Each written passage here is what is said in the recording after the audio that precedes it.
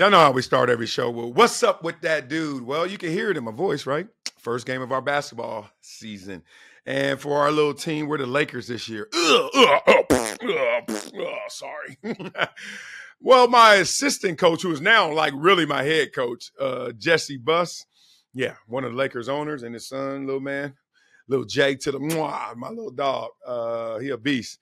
Um, yeah, we got a squad. Um, but you hear in my voice. I can't help myself. I see a kid that needs some coaching, needs some life lessons. Know that he got to turn his engine on as soon as he crosses that line and gets on that court. Uh, I got to yell it because he can't hear me if I whisper. and I'm not yelling at him. I'm yelling to him. Hey man, keep going. Like you know, these kids they they get the ball stolen, they just sit there look at their palms or blame the ball. I'm like, nah, nah, nah, nah.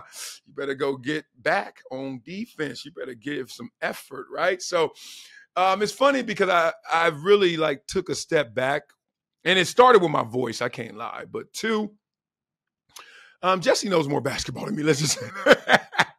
but three, um, I like how he coaches. Um, and four, he's a great friend. And five, um, I got football, and it's like I don't know. It's just a shared experience now. I let them run the drills and run the practices and coaching it. Like I just I, for real, I was masquerading as a basketball coach. Really, I'm over here being a, a, a basketball counselor. Like I was telling the kids basketball, but in reality, I was trying to coach them up in life.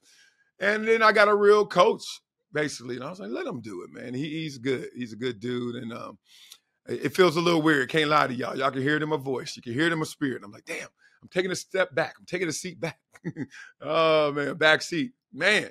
But as long as we keep rolling and doing it the right way, and the team is winning, I ain't mad with it. After that, uh, went and played tennis again. Consecutive weekends, I played tennis with my man, Dr. Scott Cohen. Yeah, um, let's just say that didn't go as well. Let me stop. I, I, mean, tennis is played out to me anyway, unless I'm watching it. I can't play tennis no more, and I don't think it's as good as pickleball. Why? Because pickleball, no matter how sorry you are, how good you are, oh, we could play.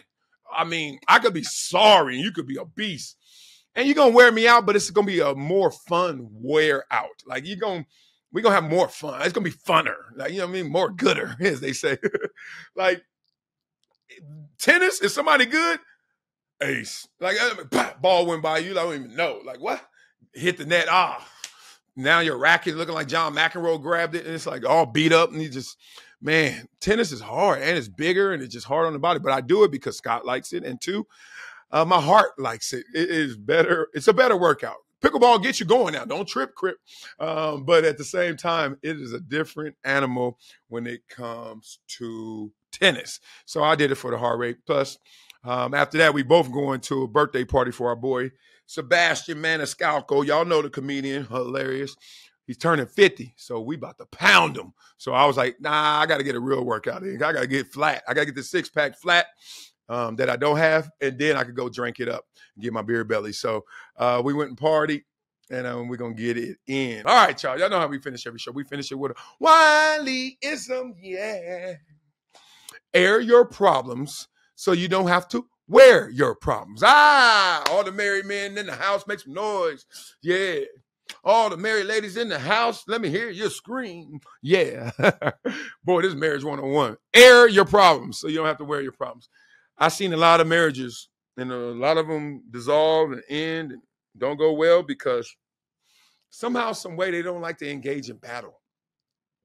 Like in the moment, I told you my boy, my boy Jabari was like, dog. One time he tapped me on the shoulder, dog, stall her out. I was like, no. First of all, you sit your divorced ass down.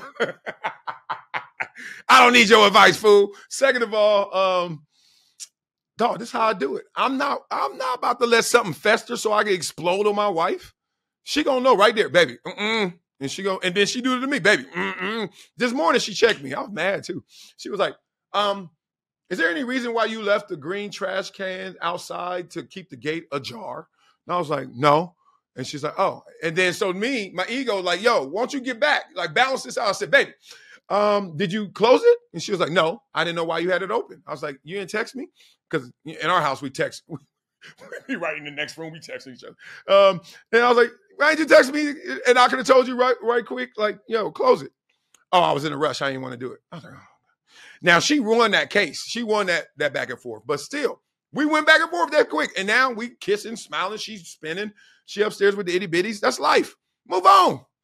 It took her a while to get there though, because she wasn't used to this. Because I'm always used to this. My family, we confront. You know what I'm saying? Everybody passing the greens. Oh, okay. Everybody over there passing the mac and cheese. Oh, that's great. Oh, what'd you say?